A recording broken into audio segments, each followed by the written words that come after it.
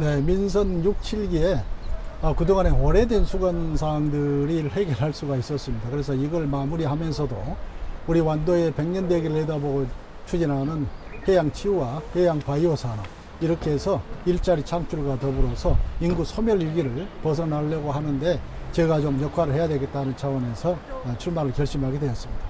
저는 그동안에 다양하고 아주 풍부한 행정 경험과 더불어서 어, 특히 그 해양 수산 분야에 어, 전문성이 또 있고 그러면서도 탄탄한 중앙정부의 인맥 아, 그리고 이제 국민들이 화합하려고 하는 소통의 리더십이 저의 장점이다 이렇게 생각합니다.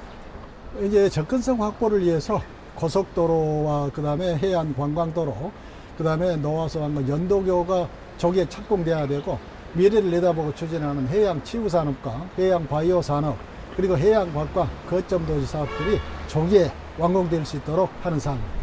우리 완도도 어, 인구 감소로 인해서 어, 지역 소멸 위기에 놓여 있습니다. 그래서 무엇보다도 일자리 창출과 소득 창출을 위한 해양 치유 산업과 해양 바이오 산업을 활성화시켜서 농수 축산업과 연계시켜서 그렇게 해서 지역 경제를 회복시켜 나가는 것이 가장 큰 현안 문제다 이렇게 생각합니다. 혹시 트로트 좀 좋아하시나요? 조가삼간 집을 지은 내 고향 완도 땅